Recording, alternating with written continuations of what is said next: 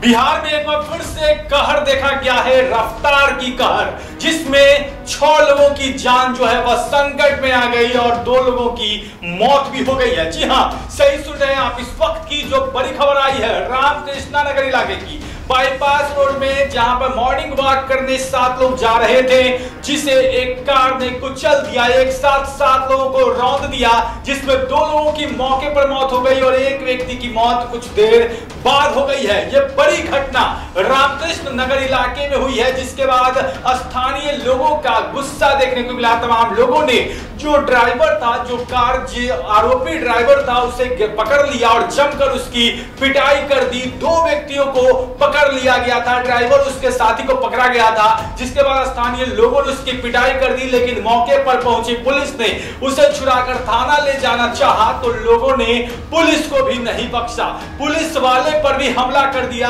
गाड़ियों के शीशे तोड़े गए, जिसके बाद नाराज़ लोगों ने जमकर बवाल किया है। काफ़ी देर तक रामकृष्ण नगर इलाके में जाम जैसी स्थिति हो गई, हालाँकि पुलिस ने समझाकर जाम को खत्म कराया है।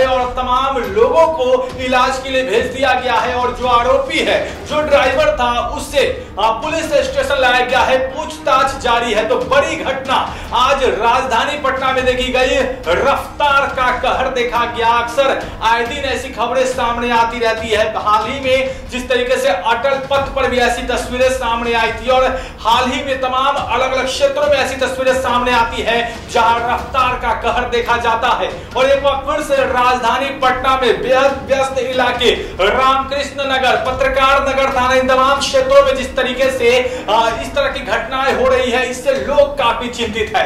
सुबह सुबह छह बजे जब लोग मॉर्निंग वॉक करने जा रहे थे, उस वक्त इस घटना ने सबको चौंका दिया। एक गाड़ी, जो ब्रिजा कार थी, उसने एक साथ सात लोगों को टक्कर मार दी। मॉर्निंग वॉक करने जा रहे थे लोग और उसमें दो लोगों की मौके पर मौत हो गई। हालाँकि एक और व्यक्ति की जान कुछ देर बाद चली गई, उनकी मृत्यु हो गई। तो अब तक कुल तीन लोगों की मौत हो चुकी है और इस घटना से आसपास के इलाके में तमाम लोग सन रह चुके हैं। लोग काफ़ी गुस्से में हैं। जिस तरीके से ऐसी घटनाएँ हो रही, इसको लेकर पुलिस पर भी प्रहार किया गया। हालाँकि जिस तरीके से जैसी स्थिति उत्पन्न हो गई थी, लग रहा था कि ड्राइवर और उसके जो साथी है, मॉब लिंचिंग के शिकार हो जाएँगे। तो ऐसे में पुलिस ने बीच बचाव किया।